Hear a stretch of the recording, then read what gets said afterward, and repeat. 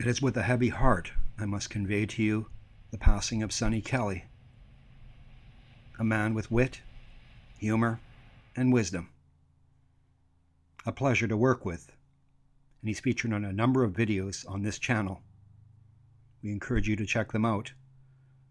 This is a tribute for him, for his family and friends, in memory of him. We thank you, and we thank you, Sonny. You'll never be forgotten.